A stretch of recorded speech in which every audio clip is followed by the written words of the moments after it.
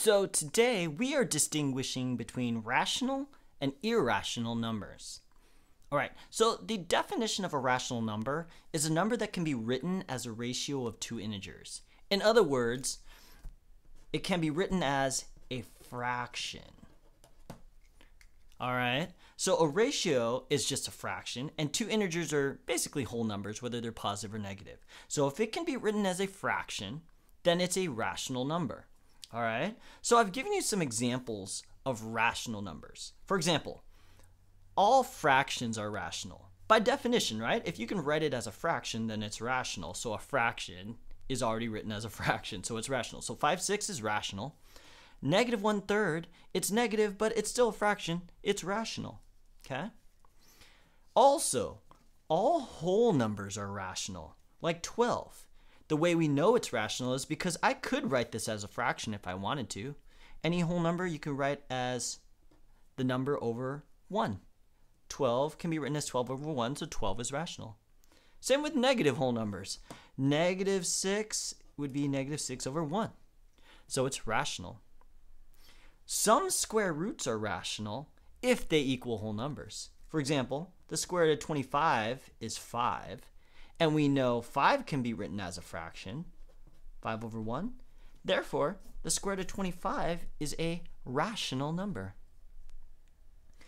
Turns out all decimals that terminate, that end, are also rational. For example, 0.9.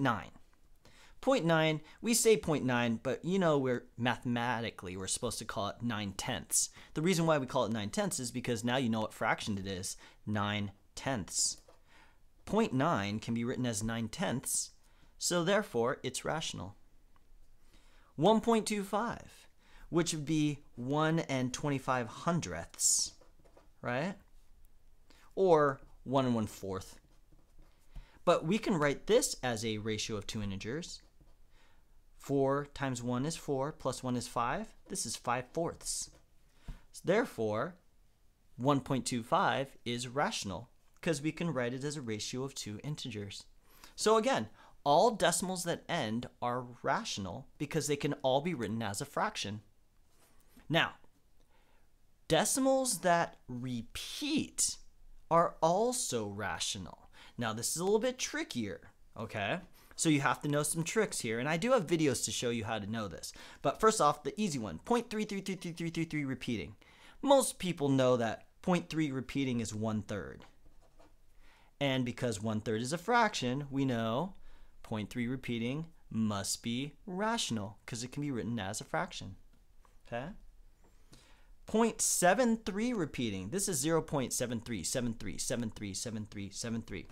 And if you haven't watched my video, you can watch my video on how to change this into a fraction. There's two digits repeating, so I know that the denominator is 99, and then I take those two repeating digits and stick it on top, is 73 over 99. So 73 99. And by the way, if you're not sure, you don't believe me, 73 divided by 99 0.7373737373. So since I can write that as a fraction, I know it's rational. 0.73 repeating. And even this one, where just the 6 repeats, 0.2666666666666.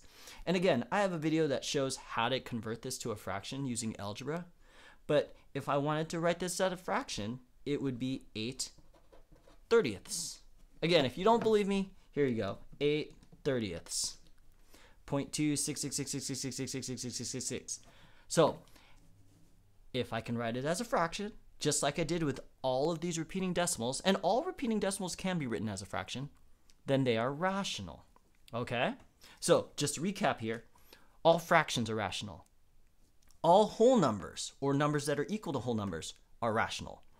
All decimals that end, rational all decimals that repeat rational. Now you're probably wondering, well, what is, what's left? What could possibly be irrational? All right. Well, first off, that definition of irrational, numbers that cannot be written as a ratio of two integers. All right. So if you can't write it as a fraction, then it's irrational. Now, what numbers can't be written as a fraction?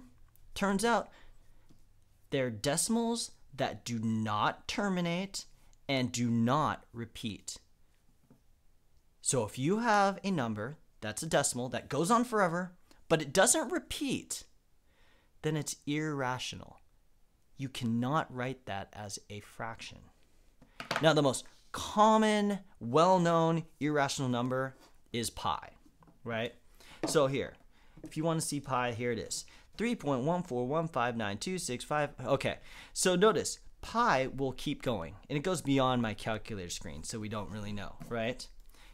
It goes 3.1415.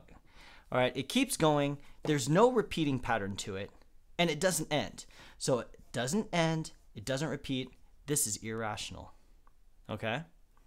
And if we do something to pi, for example, we add 5 to it, it's still going to be irrational. Instead of 3.1415, it's going to be 8.1415, oops, 15, dot, dot, dot, dot, dot, keep going forever and ever, ever. Again, it won't end and it won't repeat. Okay? So there's an example of irrational numbers. Now, it turns out a lot of square roots are also irrational.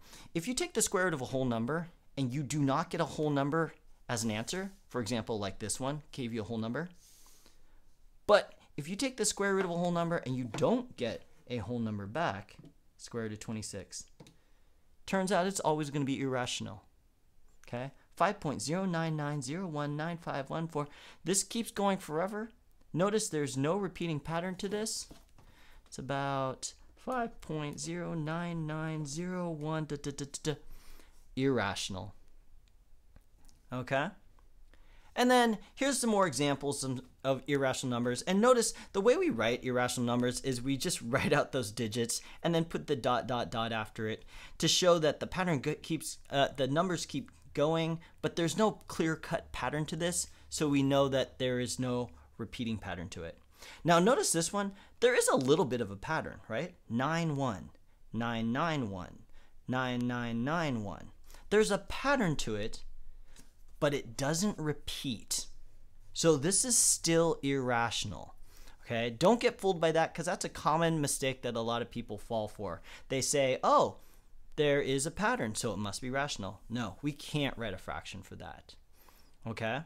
So, that kind of gives you some examples of what rational and irrational numbers are. All right? I think rational numbers are a lot easier for people to know because you've been working with them your whole life. Irrational numbers tend to throw people off because we're not used to looking at numbers and thinking, oh, this is a number that can't be written as a fraction, so it's not something I can completely write out on a piece of paper. All right? But just know that it's only irrational if it is a decimal that does not end and does not repeat. All right? So, Hopefully you found this video helpful. If you did, please hit that like button. Also subscribe because it really helps us out. But with that being said, good luck on your math and I will see you next time.